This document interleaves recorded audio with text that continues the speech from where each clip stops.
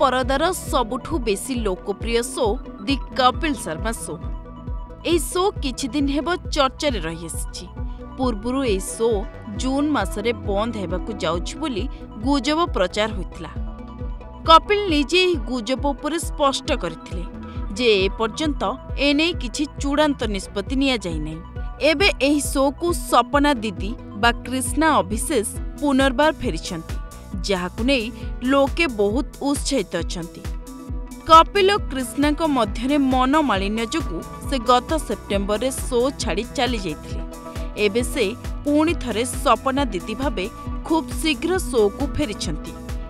ଏହି ଖବର ଭାଇରାଲ ହେବା ମାତ୍ରେ କ୍ରିଷ୍ଣାଙ୍କ ପ୍ରଶଂସକମାନେ ଆନନ୍ଦିତ ହୋଇଛନ୍ତି। କ୍ରିଷ୍ଣା କହିଛନ୍ତି ଯେ ଶୋ ଛାଡ଼ି ଚାଲିଯିବା ଠିକ୍ ହୋଇନଥିଲା।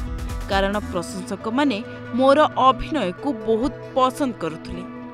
ଫିକୁ ନେଇ କିଛି ବିବାଦ ଦେଖାଦେଇଥିଲା ଏବେ ଏହା ସମାଧାନ ହୋଇଯାଇଛି। ଚବିଶ ତାରିଖରୁ ସୁଟିଂ ବି ଆରମ୍ଭ କରିଛି ବୋଲି କହିଛନ୍ତି। ବ୍ୟୁରୋ ରିପୋର୍ଟ ଓଡ଼ିଶା ସମ୍ବାଦ।